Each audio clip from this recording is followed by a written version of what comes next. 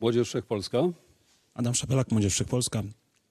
Panie premierze, ja jeszcze powrócę do poruszonego, poruszonego tematu, czyli ustawy IPN i tych baz amerykańskich w Polsce. Powiedział, określił pan w jednym z wywiadów wycofanie się z ustawy o IPN historycznym sukcesem. Największą klęskę naszej dyplomacji w przeciągu ostatnich kilku lat określił pan mianem historycznego sukcesu. Ale nawet nie o to chodzi, bo później stwierdził pan, że wycofanie się z tej ustawy dzięki wycofaniu się z tej ustawy amerykańscy partnerzy zaczęli z nami rozmawiać na temat zainstalowania baz w Polsce.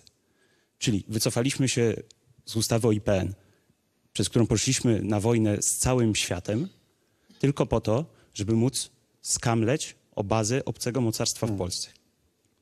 Doceniam pański patriotyzm i do- doceniam pańską Panie, panie nie, troskę o interes jakbym narodowy. Jeszcze mógł w naszej obecnej sytuacji geopolitycznej, w sytuacji, kiedy Niemcy są skonfliktowane ze Stanami Zjednoczonymi i Stany Zjednoczone nie mają oparcia w starej Unii Europejskiej, nie mają oparcia w Republice Federalnej Niemiec, to jesteśmy jednak na uprzywile- uprzywilejowanej korzyści. Szukają oparcia we Francji.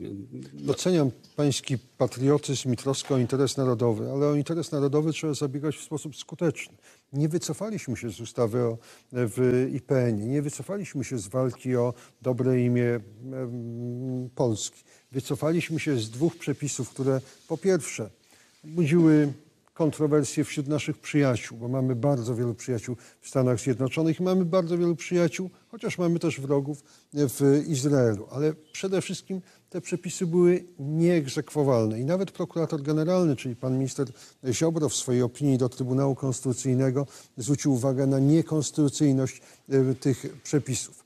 W zamian za przepisy, które były, miały charakter martwy uzyskaliśmy, jeszcze raz to podkreślę, to jest wielki sukces, zwłaszcza osobisty sukces pana premiera Morawieckiego. Uzyskaliśmy potężny oręż w walce o nasz interes narodowy, czyli ja o to, na czym panu gazety, zależy. Gazety anglojęzyczne z Izraela, które stwierdziły po tym, że po naszym wycofaniu się z ustawy, z, tej, z tych poprawek do ustawy o IPN, że myśmy się przyznali do współudziału w Holokauście.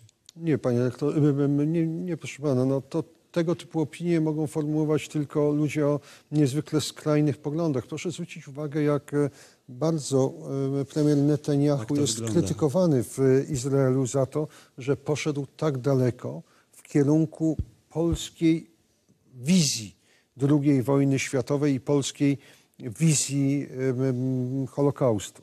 E, Jestem przekonany, że będzie pan za skutki tego porozumienia jeszcze wielokrotnie dziękował w duchu panu premierowi Morawieckiemu. Naprawdę tak będzie.